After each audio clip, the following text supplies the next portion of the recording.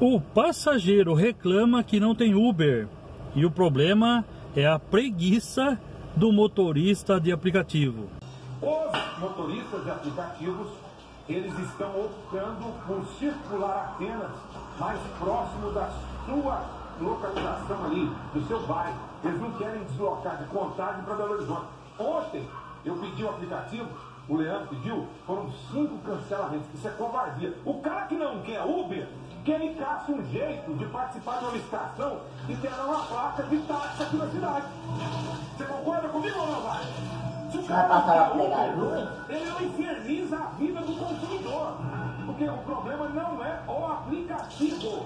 O problema é quem está entre o volante e o banco. É a preguiça de trabalhar mais. É a preguiça de poder oferecer um serviço de qualidade. Se ele escolher trabalhar de Uber, que ele faça ou qualquer outro. Falando Uber porque eu pedi do Uber, mas tem 99, tem outros aplicativos. Você vergonhoso. É, cara, é brincadeira, né? Proteger passageiro ainda O aí. que, que acontece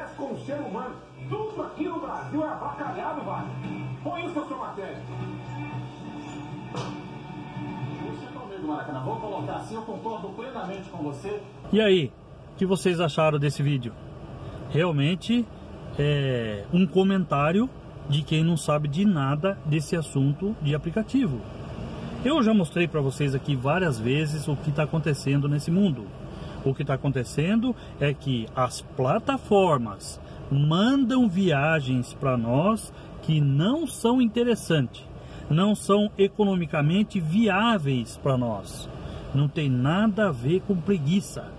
Que aliás, a função de motorista de aplicativo é uma das mais árduas, uma das mais difíceis, uma das mais longas que você tem que ficar ali atrás do volante, suportando todo tipo de coisa que acontece.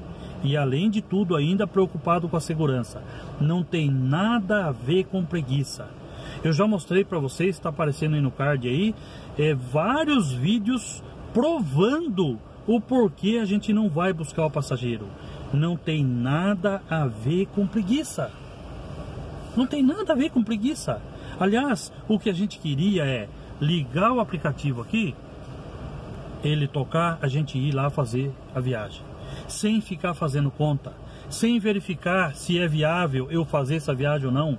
A gente queria confiar nas plataformas Uber 99, é, de modo que só pelo som que toca a gente já aceita a viagem e já vai buscar o passageiro. A gente queria fazer isso, só que não dá e não tem nada a ver com preguiça. Essa palavra eu vou falar o vídeo inteiro aqui para vocês. Não tem nada a ver com preguiça. Nós somos os, uh, aqueles que mais trabalham, ficam mais horas trabalhando, inclusive até segurando de ir ao banheiro, de tomar uma água ali. A água a gente tem aqui uma garrafinha, mas você mata até a sua hora de almoço para você fazer esse trabalho aqui. Então esse comentário aí desse repórter aí não tem nada a ver, é típico de quem realmente não sabe nada desse assunto. Agora, eu estou mostrando para vocês aí várias prints da tela de oferta da Uber e da 99 também aí com o seu Poupa. É economicamente viável você fazer esse tipo de viagem? É lógico que não. Então a gente não vai. Aí o passageiro pede lá, a viagem cai muito barato para nós, a gente não vai. Você acha que eu vou me desgastar, gastar meu tempo, gastar meu carro e, e não ter um lucro? Você acha que eu vou buscar esse passageiro? É claro que não. Então, meus amigos, eu acho que tudo que nós estamos fazendo hoje, ele, nós, nós estamos no caminho certo. Porque a gente já tentou fazer greve, a gente já tentou fazer manifestação, a gente já fez de tudo e nada dá certo. Agora, com esses questionamentos, com essas reclamação de repórter, de televisão, com essas reclamação de passageiro que está buscando Uber e não está encontrando, esse me parece ser o caminho certo. Agora, eu acho que as plataformas precisam, e é muito fácil isso, regular os seus algoritmos para que as viagens sejam sim econo- economicamente viáveis para nós. É só isso que está faltando. A hora que cair viagens em que a gente possa fazer ali, que a gente possa ter um lucro e trazer um valor para casa, ponto final, está tudo resolvido. Essa matéria eu assisti ali no Instagram do meu amigo Ian. Ian, ele tem um canal também é, lá de Belo Horizonte. Ian Motorista 6 Estrelas. Um abraço aí, Ian. Eu assisti aqui no seu Instagram, já até deixei um like lá para você também. Então, olha, eu falo para vocês, gente, a gente está no caminho certo e eu acho que é por aí mesmo. E isso daí não tem nada a ver com motorista preguiçoso. Isso aí tem a ver com motorista inteligente e que sabe muito bem o que está fazendo. As plataformas estão mudando. Muitos passageiros aí já estão reclamando demais, né, principalmente com relação a Uber. Mas a 99 também aí tem a sua culpa. Então, gente, vamos continuar assim, não aceitando. Eu sugiro que vocês não aceitem do que aceitar e cancelar. Façam isso. Olhou ali, a, a viagem que você está vendo ali, tem ali, às vezes mostra valor, mostra quilômetro, tem lugar que não está nem mostrando isso. Se você acha que não é interessante, não aceite, deixe passar, que é por aí mesmo. Esse é o caminho certo para que as plataformas mudem o seu algoritmo e pense um pouquinho mais no motorista, pense um pouquinho mais na gente.